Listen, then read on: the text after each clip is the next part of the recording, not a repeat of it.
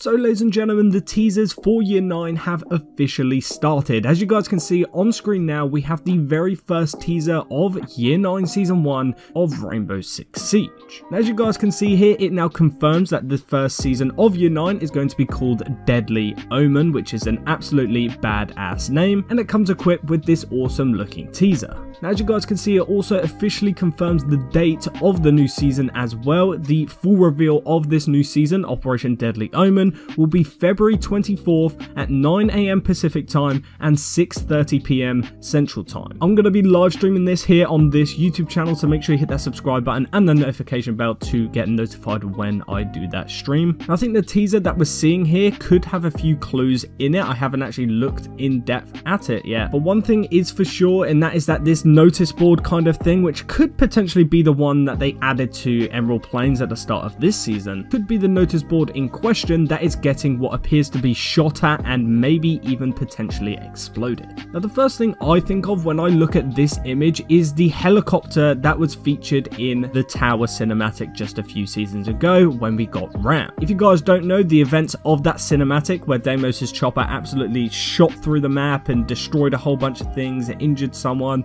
it even killed a few of the Rainbow Six recruits. All of that damage actually translated into the actual map. If you now play on Tower, they updated it so that the cinematic damage that they did actually appears in-game. And I don't know why, I'm kind of getting similar vibes here as if some kind of attack is going to be happening on Emerald Plains. I'm interested to know, what do you guys think this gadget is going to be, this operator? Are we going to be getting Deimos as a playable operator this year? Maybe, maybe not. I think they've introduced the uh, the Keres Legion in Rainbow Six Siege now, so there is a potential chance that we could see some Keres Legion operators uh, Deimos or Deimos himself appear in-game as playable characters. I know for a fact a lot of people in the community would love to be able to play as Deimos. He also gets his unique looking pistol revolver thing, which would be awesome to have in-game as well. And overall, I think just having Deimos and some of his operators from his own Legion in Rainbow Six Siege as playable characters would be pretty awesome. Overall, with Year 9 just around the corner now, I think it's pretty safe to say that we're going to get a lot of advancements with the lore in this year, and I think we're